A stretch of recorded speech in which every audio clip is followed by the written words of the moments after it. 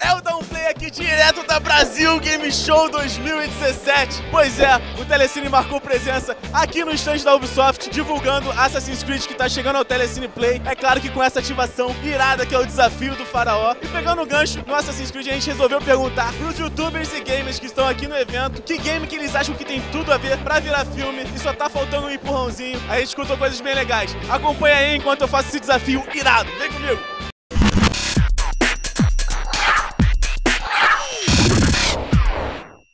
Eu acho que a franquia Far Cry, apesar de serem cinco jogos com histórias diferentes, o Uncharted é uma, é uma, histó- uma história muito boa do, do Nathan Drake, que com certeza teria, teria espaço para virar filme. Cara, eu acho que seria Zelda, porque ele é um game que tem a história completa, tem até o romance que todo mundo gosta, e também se trabalhassem com a estética do jogo, já ia ser um ótimo filme. A resposta que eu ia dar meio que já tá acontecendo em forma de série, que é o The Witcher, né? Vai virar série, mas, pô, tinha um plano que não foi pra frente, porque o jogo não vendeu tanto, que era Kane e Lynch, que eram dois bandidos, dois criminosos, que é dos criadores do Hitman. Cara, aquilo daria um puta filme. Rainbow Six Siege, que é uma novela maravilhosa, Tom Clancy, está há anos, os livros deles estão anos antes de lançar, de lançarem os jogos, então façam, é um bom jogo para fazer um filme. Cara, o primeiro jogo que me deu essa ideia, e eu gostaria muito de ver até um remake ou um filme, chama-se Out of This World, bem antigo.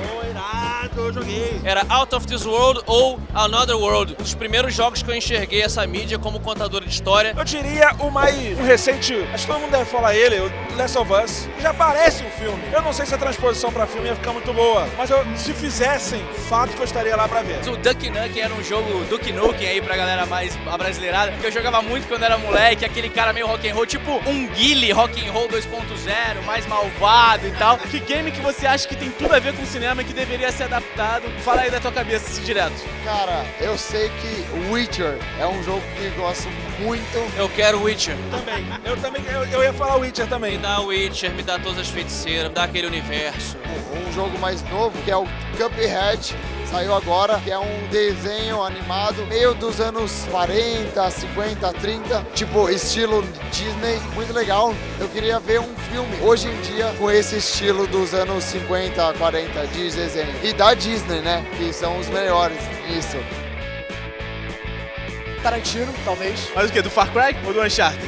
Do Far Cry, o Far Cry tem, tem uma questão um pouco mais de política dali, de sobrevivência, acho que poderia, poderia pegar bem. A gente tem um bom exemplo aí do Scorsese, talvez, mas eu não sei se pegaria muito a, a vibe dele. Mas o próprio Andy Muschietti, que fez o Mãe, eu acho que talvez esses mais que você consegue ver que ele estudou e teve peso. Então, talvez esses. Nesse em específico, se eu fosse pegar o Kane Lynch, eu pegaria Michael Mann do Colateral, do Miami Vice novo. Eles vão botar o Bruce Willis como um deles, mas acho que não tem nada a ver não, cara. Eu não sei, eu realmente não sei. De ator, você me pegou. Não posso dizer, mas uma atriz, a gente paga pau, né? A Margot Robbie, a gente tem que pagar pau pra ela, né? Deusa, maravilhosa. Não faço ideia de nada. Qualquer dúvida, botem o James Cameron. Até um filme sobre piranhas voadoras ele fez ficar legal. Então, James, James Cameron. A menina a gente já sabe quem tem que ser. A, a atriz que era a- que eles, se inspiraram. Apesar que ela tá mais velha agora, né? Ellen Page. A Ellen Page. Ellen Page. Cara, eu sou muito fã do Nolan, principalmente pra filme de ação, assim. Não sei se você concorda ou se você discorda. Concordo, mas é loucura total. Cara, eu curto muito a sequência que ele fez de, de Batman. Eu acho que o Nolan pegaria esse filme aí e traria aí pra uma realidade fantasiosa maneira demais. Muita explosão. Alô, galera do Downplay, obrigado pelo convite e é isso. Um abraço. Obrigado aí, queria mandar um abraço pra todo mundo e parabéns pelo espaço. Alô, galera do Downplay, obrigada por terem assistido. Um abraço aí pra todo mundo do Telecine. Tamo junto. É bom que dá pra galera deixar nos comentários quem conhece esse game, pode deixar aí. Boa. Boa ideia, faz isso. Muito obrigado, Matheus, por participar aqui com a gente. Dublarado no Downplay!